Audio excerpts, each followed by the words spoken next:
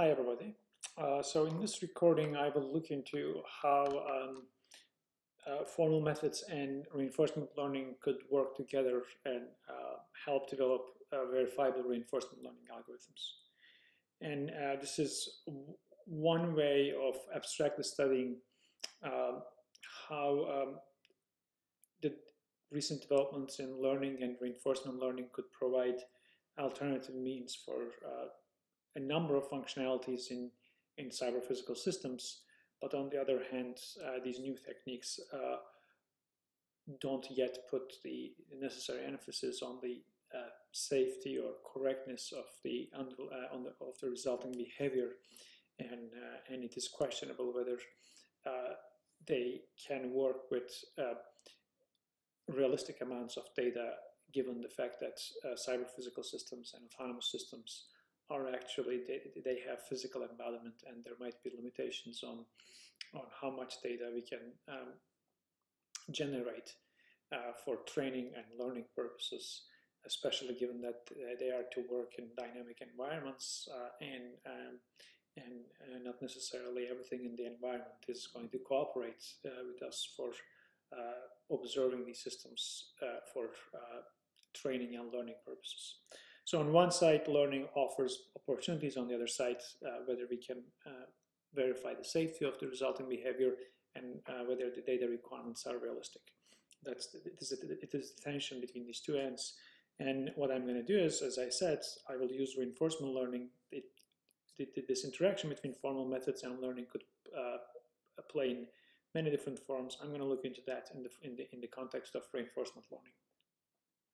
And reinforcement learning is essentially there is a learner, a robot, a system uh, uh, that works in an environment and there are certain things that it does not know, yet it needs to uh, it needs to operate in the environment. So typically it is a back and forth between what happens in the environment and the learner. The learner takes an action, something happens in the environment, learner gets to see what's happened, and and it may also uh, get a thumbs up or thumbs down uh, from some entity uh, that guides the learning process for the learner. And obviously this is the highest level cartoonish explanation of reinforcement learning and there could be uh, many different variants of this. And it, it, it, it, it has, it offers a lot of cap uh, capabilities and the, the success stories um, are in um, are expanding uh, pretty quickly. Uh, on the other hand, uh, still there, the, the, it is possible that a learning-enabled functionality actually can um, behave in ways that are obviously not acceptable, uh, given the safety criticality of many uh, cyber physical systems and autonomous systems. We have to think twice uh, whether we understand the resulting functionality properly or not.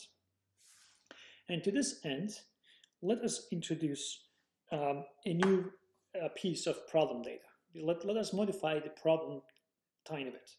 We will introduce a temporal logic specification and ask the question of whether the learned behavior satisfies the specification. It could be a safety specification, it could be something else that we care about. We will ask whether uh, the system, the resulting learned behavior is going to satisfy the specifications. Or a little bit harder, not a little bit, significantly harder and more interesting question is that actually whether even during learning, in the in the phase that the system does not know certain things, which might actually become uh, critical for, for safety properties, uh, whether we can actually keep the system safe while ensuring that it figures out those things that it does not yet know. So that is this is the this is the rough problem description I'm going to look into uh, in, the, in the rest of these slides.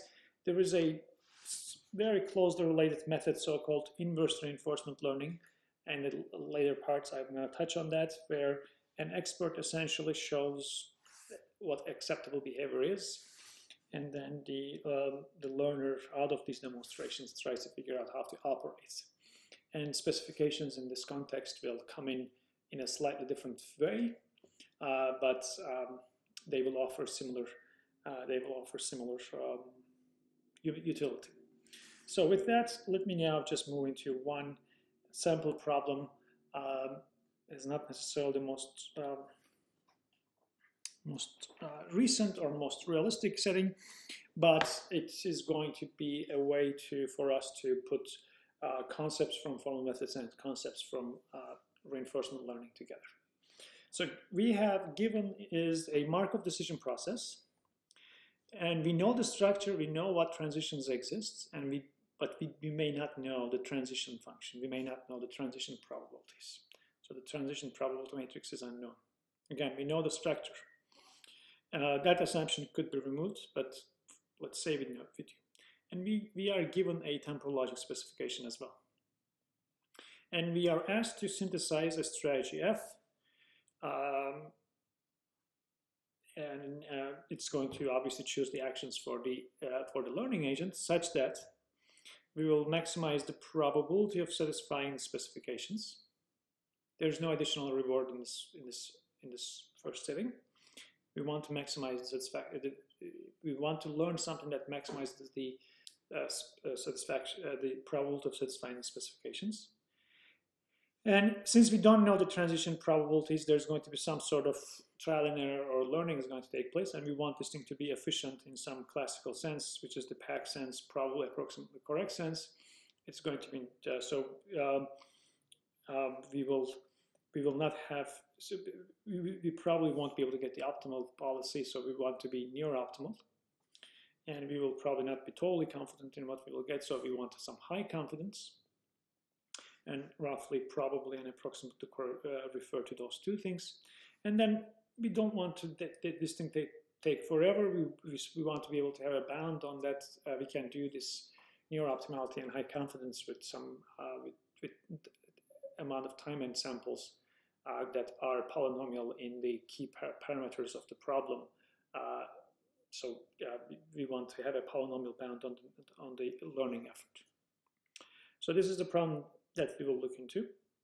And, uh, and the first insight from formal methods comes right away that uh, instead of uh, trying to look into the system and the specifications, we will obviously um, transform this thing to a product automaton, a specific an automaton that represents the specifications. We'll take the product. Uh, we know the structure. We don't know the transition probabilities, but that's fine and the resulting uh, system is going to be yet another uh, Markov decision process, but now uh, certain parts of that Markov decision process will be unknown. And in, instead of uh, monitoring uh, the specifications, we will just look into whether certain special states, obviously, uh, in this product automaton or in this product MDP will be visited or with what probability they will be visited. So we will transform it to a uh, product system and we will then use uh, roughly existing learning techniques uh, on this product system. And um, so the solution which is adopted from uh, the so-called E3 algorithm in reinforcement learning um, looks just follows this uh, this flow. So we we won't know the M, the Markov decision process, but at each step we will have an estimate on it. And let's call it M bar and we have the specification. Then given M bar and the specification, we can go and compute a strategy F using standard techniques that we have seen earlier in the week. And then, um, then we will apply this strategy on the, on the actual system and we will see what happens. And during this process, we will see, we will gather new data and we will go and update our understanding of the underlying Markov decision process. We will update the estimated error. And this roughly looks into, I haven't, I have been to this state, I have taken this action, let me count what happens. I end up here, here, and here, 17 times 200 times, etc. That gives an estimate of the underlying transition, unknown transition probabilities. And then, um, and then we close the loop and repeat it uh, for, a, for a certain amount of times.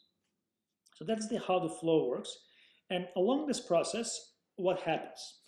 Uh, what happens is the following. So first of all, we will have known certain parts of the Markov decision process. Those are the parts for which we already have a relatively good estimate of the underlying unknown transition probabilities. Roughly, we can think this as that the parts of the state space at which we have been sufficiently many times and tried things sufficiently many times, and then the rest that we will lump into a single sink state. And then the first result is in the form of um, that the policy that we compute over the known part of the product system is either near optimal, hence we can stop. We know that with this much of knowledge, uh, we can say that this policy is going to give high enough uh, probability for satisfying the underlying specifications, or it is going to explore. It's not going to get stuck. It is going to run into a new unknown state with non-zero probability. So we have either have seen enough that we are near optimal or we will see new things. All right.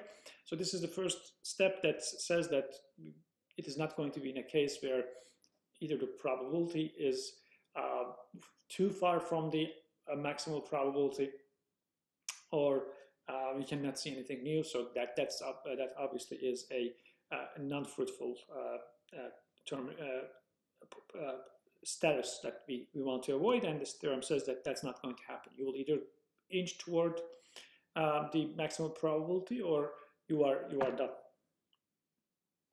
And then the final the, the end result here is that uh, indeed we can by going through this loop uh, we can go and uh, with probability 1 minus delta delta is given some uh, small constants and epsilon is uh, like that too so with probable probability 1 minus delta the resulting policy is going to satisfy this inequality here. So this one is the, if we had known what the, um, if we had known what the Markov decision process was, this was, this is the maximal probability that we could have obtained, and this is uh, the probability that we achieve by the policy that we compute in each iteration. So eventually we will have this case that the gap between these two probabilities will be less than 2 epsilon. And it is not going to so this is the approximately optimal part. This is the uh, high confidence part. And uh, we, the number of samples that we need or the number of steps that we will need is polynomial in the size of the Markov decision process, size of the automaton that represents the specification. It is T is the so-called epsilon state value mixing time for the optimal policy. That is, that is a little, there's a little bit commonly used cheating there, but uh, so uh, uh, the, the, op, the end result depends on that constant as well uh, polynomially and the, uh, the, it also depends on the amount of confidence and amount of suboptimality that we can tolerate polynomially. So this is pretty straightforward that observing that uh, we can uh, monitor with respect to the specifications by passing to a product automaton uh, with unknown elements in it and then go and apply the, a variant of an existing reinforcement learning algorithm and then establish similar bounds on, on, on this over this product automaton and translate that back to that the specifications in the end result uh, will be satisfied uh, with um, a probability that's not too far from the optimal. Okay, so let's look at a little example. Um, so let me try to explain. We have a motion planning problem over a grid world. The objective is maximizing the probability of satisfying this specification here written in text, infinitely often visiting the green blocks, green blocks that we see, uh, R1, R2, R3 in this order. Uh, and then never get into the red cells. And there are four different types of uh, terrain, and we, we, we don't know uh, what is where or what the uh, transition probabilities are. And this blue thing is the position of the system or the ro uh, robot or the agent that is uh, starting from certain place and goes and explores and sees what happens and tries to find out the transition probabilities in these different regions. And based on that, at some point, it's going to stop. And, uh, and then we can, this is not very informative animation, what we can see is that actually there's a little bit of a trade-off between how much suboptimality we can tolerate versus how much computation we need. If we are fine to be off by 0.01, then we have to run for a long time. And if we can tolerate being off by 0.05, the computation time reduces significantly. And uh, a little comment here that the, the time that we spend for synthesizing the policy over the estimated Markov decision process in that loop is actually the negligible part of it. The, most of the time that I am reporting here is essentially the system is going and just bumping into things and taking actions and seeing what's happening. Essentially, the learning effort takes forever, whereas the uh, the, uh, the synthesis over the estimated Markov decision process is uh, almost negligible time with respect to that uh, exploration effort. So uh, fine, so just let me just now critique this result to, as a transition to some other set of results. So this is a, indeed actually a relatively rigorous framework that brings in the formal methods like ideas and reinforcement learning like ideas into a, uh, into a setting. It is data efficient in a theoretical sense. We know that there's a polynomial bound on the effort that we need for learning. Yet, even in this relatively uh, small example, learning may take forever. And, and not only that, but these specifications are satisfied with high probability only at convergence. And if you look at the, uh, the animation in the previous slide, we would have closely, we would have seen that uh, actually sometimes this uh, system goes and uh, visits the red cells that we want to avoid during training. And uh, not too surprising because the underlying, um, the underlying um, transition probabilities are unknown and we only ask that at convergence the uh, specification is satisfied with high probability. So this is this is roughly the good part and there are there are not so good parts. The, the theoretical efficiency may not be uh, sort of practically useful because we, we will be working with relative like physical systems most of the time, uh, cyber physical systems and and, and, and autonomous systems trying things million times or a billion times in, in a physical in the physical world is not going to be uh, effective enough. And also, uh, as I said, uh, high probability at convergence is may not be acceptable. If, if my system dies before it learns, that learning uh, is not going to be that useful.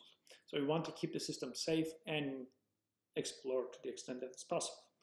So I'm going to now go through a couple of different ideas that had been explored uh, for essentially motivated by these two limitations.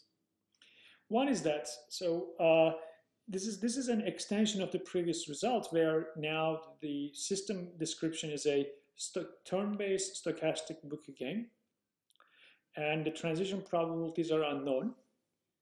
We have a reward now. The reward is unknown as well. So it is not only while we are uh, running in the system, not only uh, maximizing the satisfaction probability of the specifications, but along with that, let's also satisfy the, let's also maximize the reward that the system collects, but the reward is unknown at various states.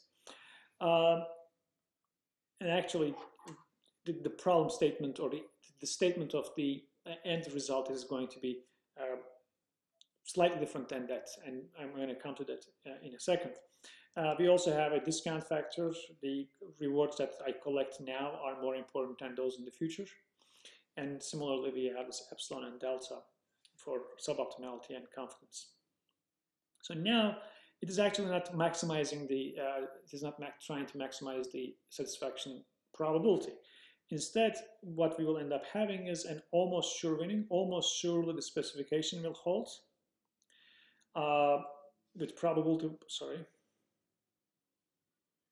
with probability one, the specification will hold and the system is going to behave epsilon suboptimally, perhaps initially, uh, but it is not going to be uh, for too long.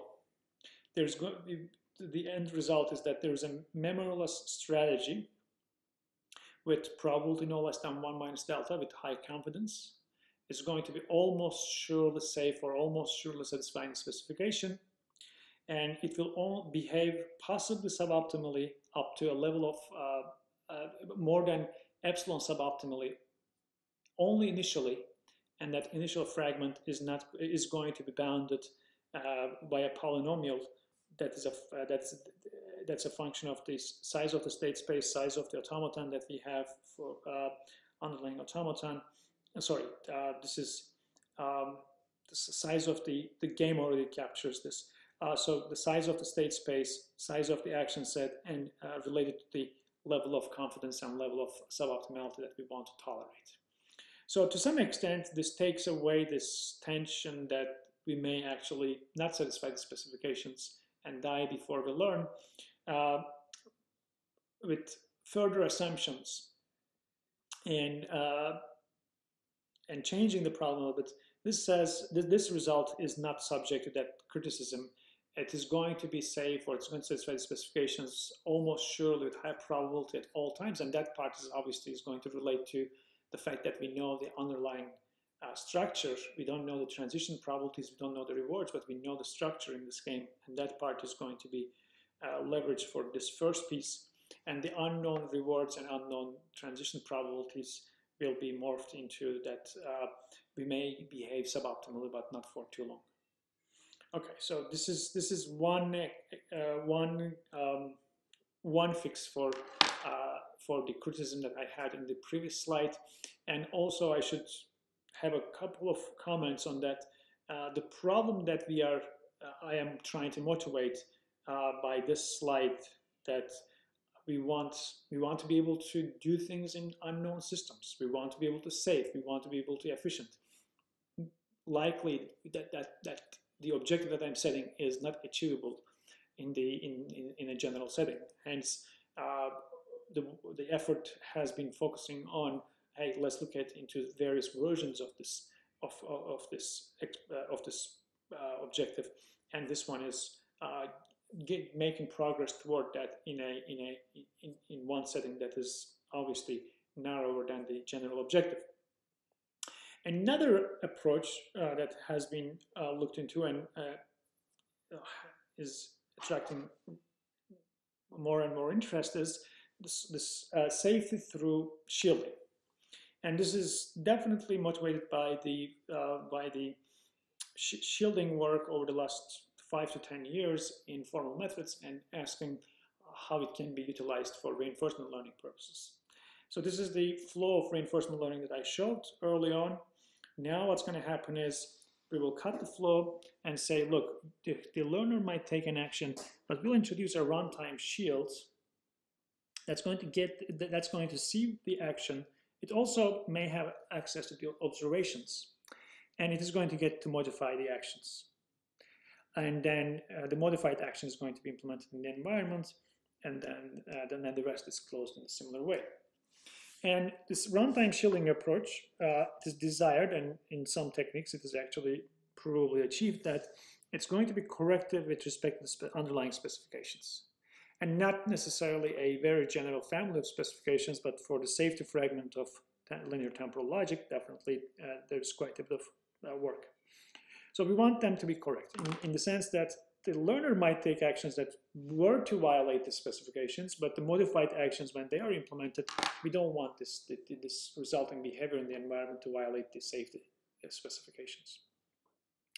Uh, so correctiveness could have been achieved uh, by just overwriting every single action of the learner, and that is definitely not what we want. And we want this, these corrective actions to be minimal interfering, interfere only when uh, a violation was going to be unavoidable. And, and as soon as you fix these things, uh, return the authority back to the learner so that uh, the learner can do whatever what it was supposed to do to take advantage of uh, exploring the world and uh, extracting um, extracting performance out of that perhaps.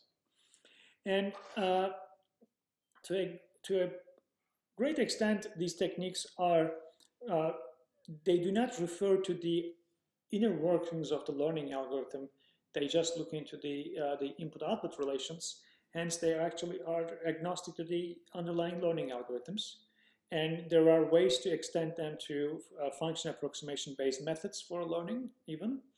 Um, that is a uh, essentially that is trying to allude to that uh, we can use these techniques with um, with learning algorithms that represent the underlying unknown elements using, for example, neural networks.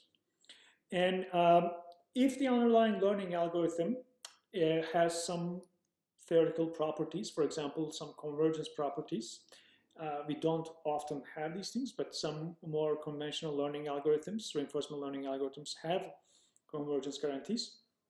We want the shielded version to obviously preserve some of these those guarantees.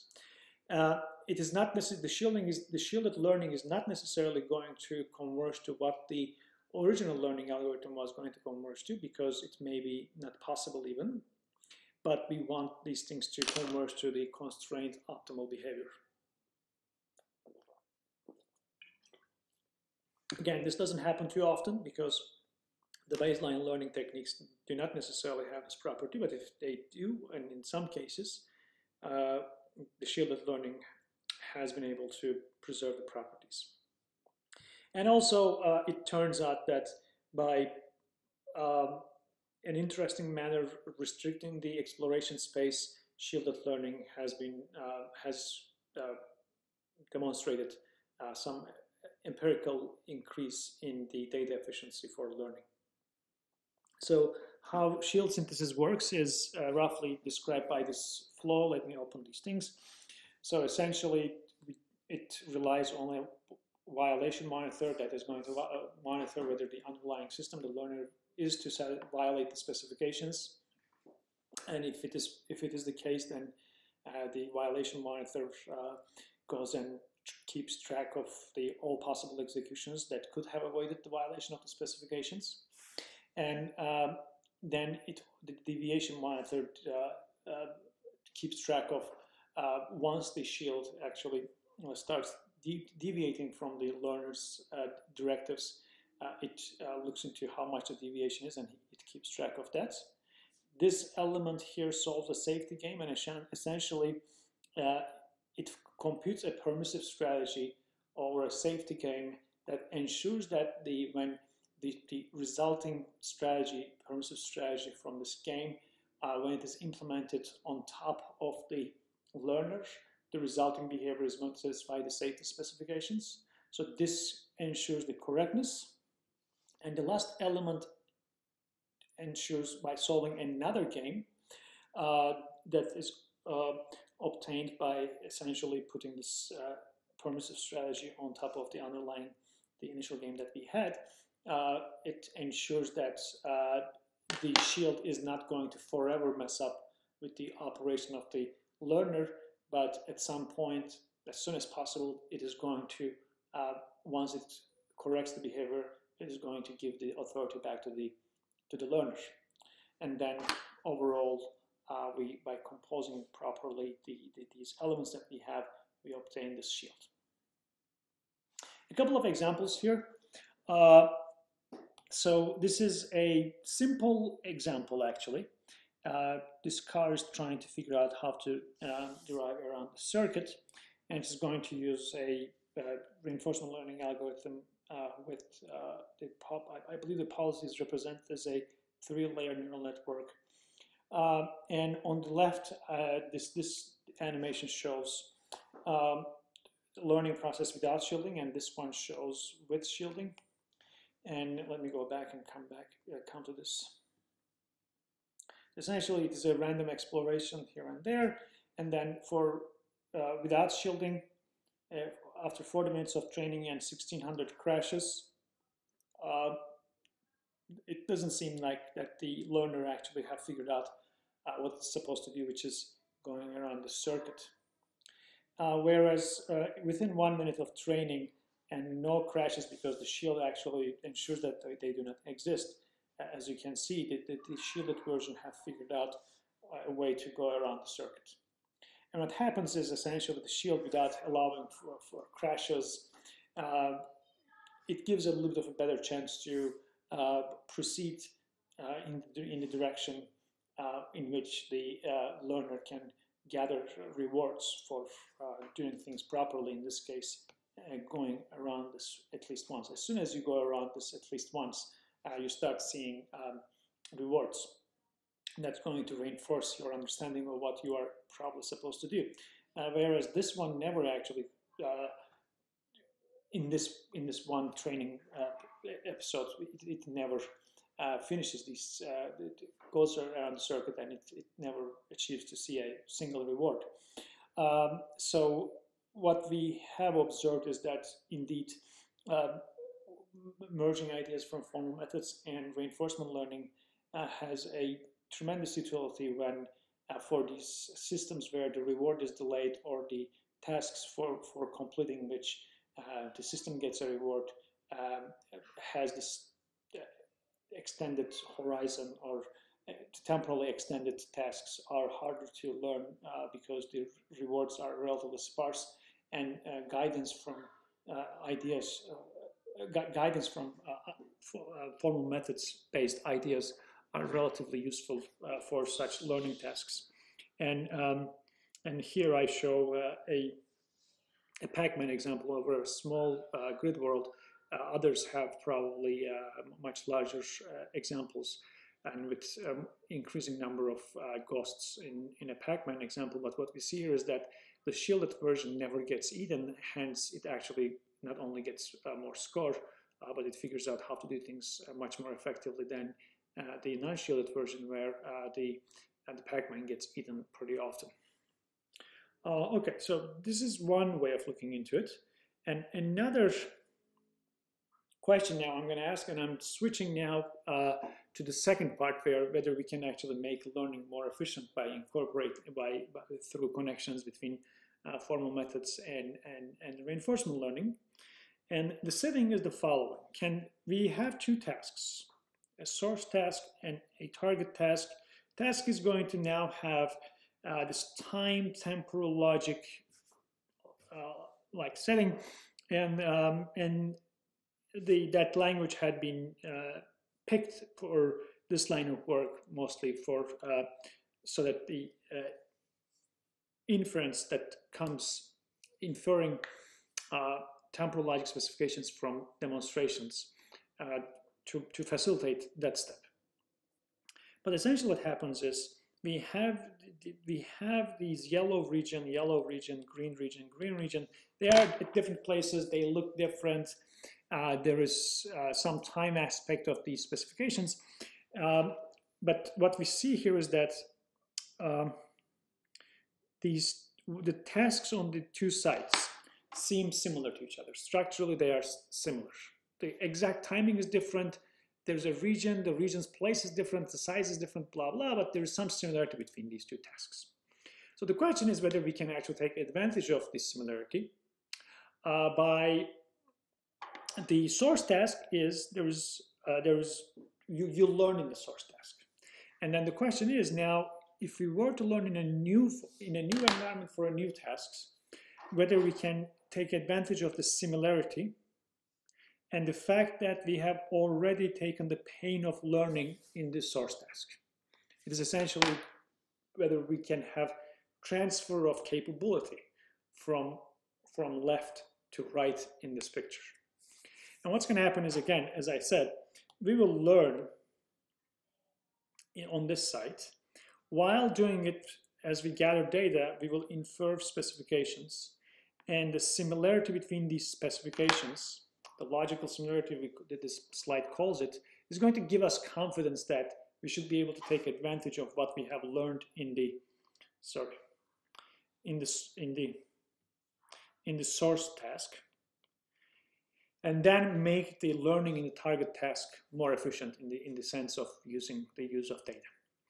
And um, so I'm, I'm not going to be able to get into the what happens in each step of these things, uh, but uh, let me look at an example. So the source task and uh, the target task are shown here. And I show, I show you four learning um, examples in the target task. The first one uses the so-called Q-learning algorithm with no more guidance. And the optimal behavior here is gathering this cumulative reward of 100. And the Q-learning algorithm does a couple of things here and it then starts to increase, uh, but the increase is way too slow. And if you run this for millions of steps, the, it is just going to inch toward uh, the higher, but it, it will never get to the optimal behavior. Whereas now, if we, we, we will have inferred these specifications, right? We now um, extend the state space by incorporating the specification. and then also there are multiple different ways of inferring the different metrics for how well the inference of these specifications from the data is. And if we use as a metric the maximum classification rate uh, in the in the in the mixed, um, not mixed, uh, metric inter interval temporal logic in, uh, specifications, what we see is that this per, this pink curve. A couple of things here. One is that in the initial, I believe, 10,000 steps here, the pink curve actually stays zero because those initial episodes, initial runs, uh, the, the, this method uses for establishing whether there is a logical similarity between what we had seen in the source task and this in this new target task.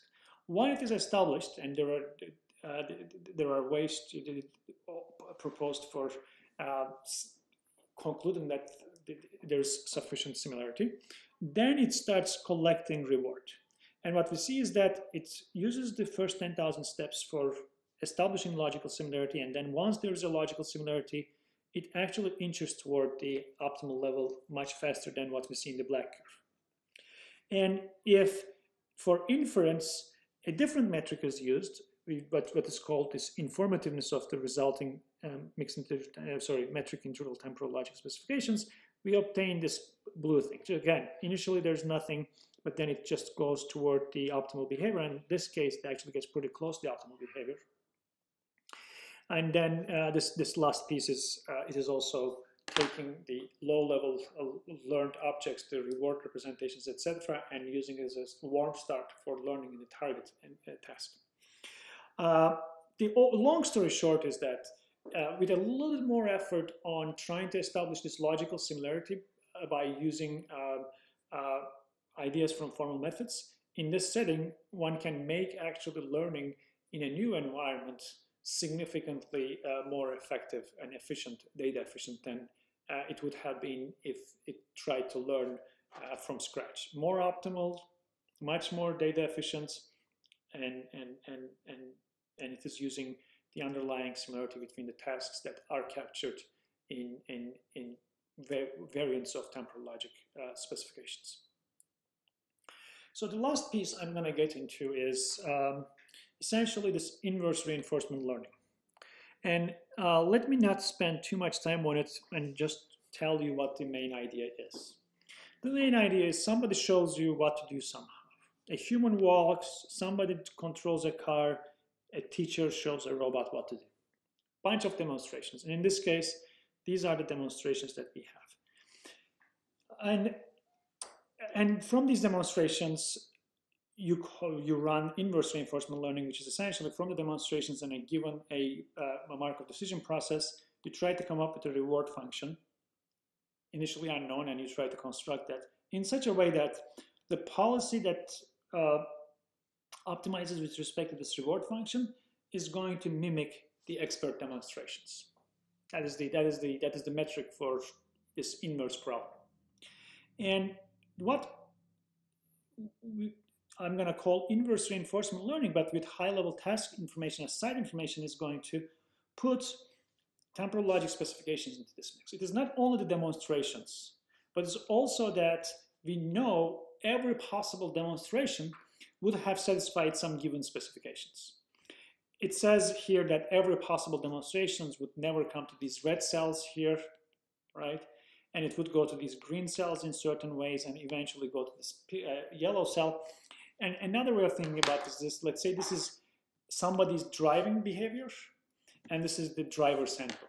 There's no reason whatsoever trying to figure out what the driver's handbook every sane driver would have followed from the demonstrations of driving, right? So how can we feed these things and learn something that not only mimics the demonstrations, not only tries to create behavior that would look similar around where we have these demonstrations, but also satisfies the uh, this, these, these tasks, uh, the side information or the specifications that we use to capture this, the, the, the underlying knowledge with high probability. And, and uh, this slide shows essentially a way of solving the resulting problem. The resulting problem is uh, has typically roughly two pieces. This initial part describes um, how to parameterize the underlying unknown reward functions and how to obtain an optimal policy out of it, a randomized policy, and uh, and uh, the um, here the, the objective is maximizing the picking the parameters theta that represent the uh, reward function in such a way that the resulting behavior is going to um, generate uh, the, the, resulting policy is going to, which is this, the resulting policy is going to generate behavior in the Markov decision process M that looks similar to the demonstrations D, and uh, the, we encode the optimality through the, uh, the Bellman equations as constraints here. And the, um, the underlying um, the, the modification is going to be now, I, I, don't know how to erase these things. Let me just,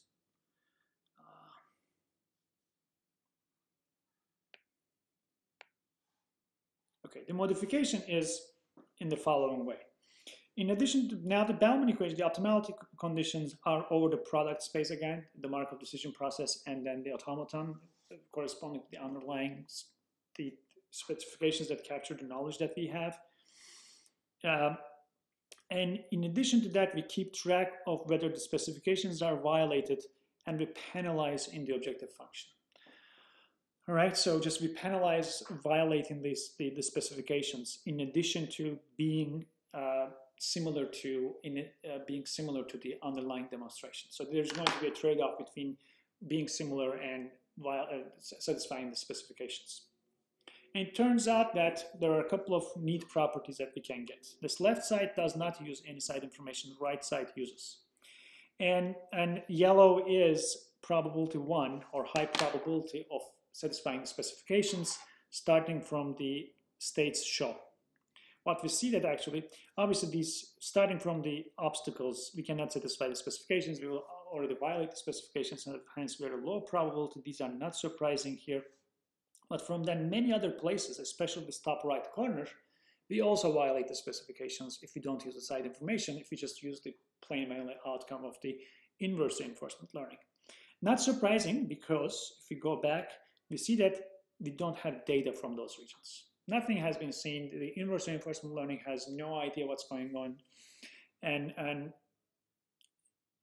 and, and then therefore actually it is going to violate specifications with high probability. When we incorporate side information as we do, uh, as we, I, I, showed, then we have yellow from everywhere but the, um, but the obstacles. And that means that actually uh, from any state, uh, depending, uh, no matter whether we have seen data in those states or not, we will satisfy the specifications with high probability. So th this is good for satisfying specifications. The next question is, is this actually at the expense of not creating behavior that looks like demonstrations. And it turns out that it is not. This is uh, with the relative weight between the similarity to demonstrations and satisfying specifications. Uh, we can create very low probability of satisfying specifications versus very high probability of satisfying the specifications. So this is the relative weight. And there is a level of weight where we can get high satisfaction probability and also around that uh, where we have uh, we have high satisfaction probability the similarity to the underlying demonstrations is not almost at all different from the similarity to demonstrations for any other relative weight that we have. Hence, uh, in this one example at the least, uh, the significantly better test satisfaction probability does not necessarily come uh, with a sacrifice of not uh, making the user happy or not being similar to what the user or what the expert had shown as demonstrations in inverse reinforcement learning. Uh, so with that, I'm going to actually wrap up here. I wanted to just comment on why we should care about the, the ideas in the, at the interface of formal methods and learning and my reasoning, it is evolving, but it goes as follows. Learning, we, we, cannot be, we cannot say that we will not use learning in one way or other. It is going to come into uh, cyber physical systems or autonomous systems. But uh, learning-based techniques are no way reliable to be used for autonomy or in general, even in engineering. And what I think is this the main bottleneck is not necessarily underlying ideas are bad, it's just the specifications are nowhere. It just we cannot talk about verifiability, we cannot talk about safety, we cannot talk about reliability assurance, whatever is just the right buzzword out there is. We cannot talk about that stuff without first giving clear specifications of what it's going to mean. And to me, this is the biggest uh, benefit that the, we can get from the interaction between formal methods and learning. And formal specifications will not only tell us what we are trying to achieve, but they happen to be actually also pretty nice uh, representations, compact representations of uh, existing knowledge. And, and there's quite a bit of debate out there in learning just how to uh, incorporate existing knowledge and data and to come up with hybrid techniques. And again, there are uh, different types of buzzwords uh, for such representations and techniques. And very likely uh, that if we can take advantage of existing knowledge and incorporate that into learning, we can probably in, improve the efficiency of these techniques and uh, in, start talking about reliability or trustworthiness of these techniques uh, much more confidently and specifications, formal specifications, uh, giving us a way to translate our knowledge into algorithm development relatively uh, systematically is, I think, also a very nice uh, opportunity. And sometimes merely acknowledging that, hey, we need behavior specifications. We cannot tolerate daydreaming. We cannot tolerate just going and trying out something empirically. I had a hunch, let me just go and tweak my neural network in this way, add one more layer, etc. That, that's great if we can get performance out of it, but merely acknowledging that I need to specify the behavior, the desired behavior that I, then I can take with this behavior specification and incorporate my resulting learning algorithm into an engineering system. Without the proper specifications, we cannot go and incorporate learning into a bigger engineering product. Merely that type of self-discipline might be actually a breakthrough. And on the flip side, um, learning-based techniques, modern learning-based techniques seem to give um, efficient ways of manipulating uh, data and keeping track of what we had seen. And that might um, prove useful uh, for constructing approximate solutions or alternative approximate solutions for problems that we face, very hard problems we face in formal methods that are known to be hard. I am more willing to take a best effort empirically a best effort approximation that seems to be empirically working, I am more easily to accept such a solution uh, if I know that an exact, complete and formal solution is uh, probably extremely hard. Uh, so that is the flip side of the coin, and I know people are actually also exploring the connection between formal methods and learning uh, for those purposes as well. So with this, I'm going to wrap up here and, and then we can discuss these things further. Thanks.